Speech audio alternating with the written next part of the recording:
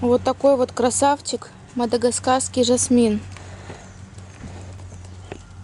А запах... м-м. А купила я его три года назад вообще задохликом. Вот реально задохлик был. Я думала, что он вообще не выживет. Ну ничего. Сходили с сестрой в лес, взяли торфу лесного.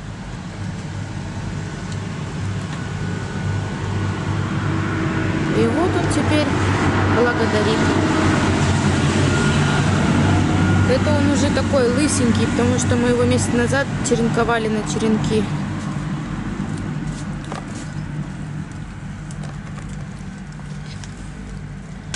А вообще он называется стефанотис. Свадебной цветовкой его называют.